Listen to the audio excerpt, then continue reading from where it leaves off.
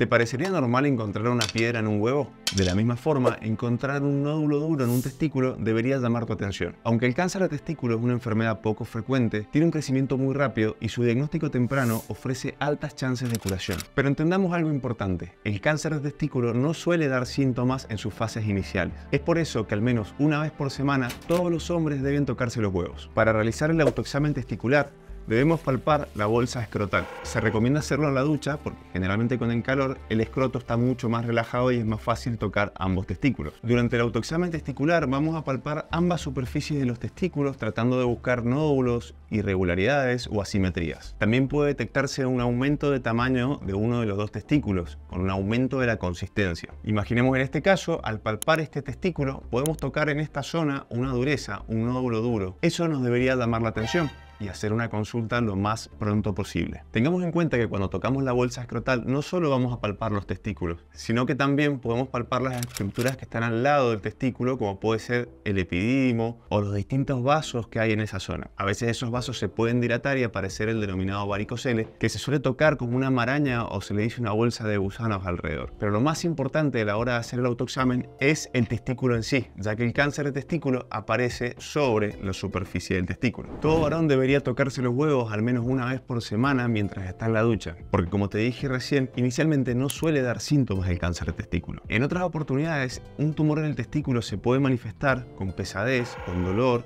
con alguna molestia específica o puede ser un hallazgo en una ecografía realizada por algún otro motivo. Ya sea que tenga o no tenga síntomas, lo importante es hacer una consulta a la brevedad. Y acá quiero que me prestes atención, ya que el cáncer de testículo representa solo el 1% de los tumores, pero es el tumor más frecuente en los varones de entre 15 y 35 años y tienen más riesgo de tener un cáncer de testículo los varones que presentan infertilidad o que tienen algún familiar de primer grado que haya tenido un cáncer de testículo o quienes tengan antecedentes de criptorquidia. La criptorquidia es la falta de descenso del testículo cuando nace el bebé. Ahora lo más importante, ¿qué hacemos si encontramos un nódulo en el testículo? En ese caso hay que consultar a la brevedad con un urólogo. En estos casos no hay excusas, ya sea vergüenza, estar ocupado con el trabajo o con el estudio. Es importante que la consulta sea relativamente rápida, ya que el cáncer de testículo tiene un crecimiento muy rápido y el pronóstico de esta enfermedad puede variar mucho si una persona consulta rápidamente o si una persona se deja estar quizás varias semanas o meses. Ten en cuenta que nadie te va a juzgar y no deberías tener vergüenza de consultar.